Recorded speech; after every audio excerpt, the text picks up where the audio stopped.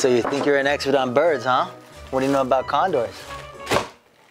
What do you know about condors? A condor can stretch his wings over nine feet.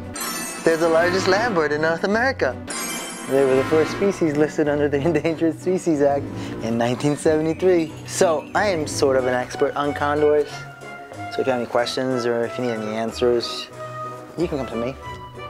I'm an expert at it. Well, I already have access to an expert on condors on Zoolife. Here, let me show you.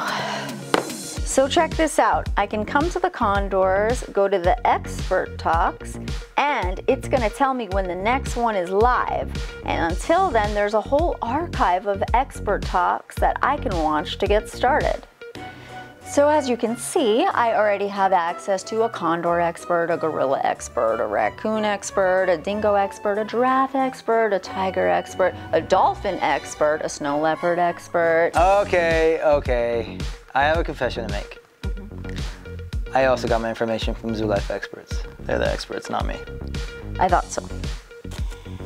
Are you still impressed?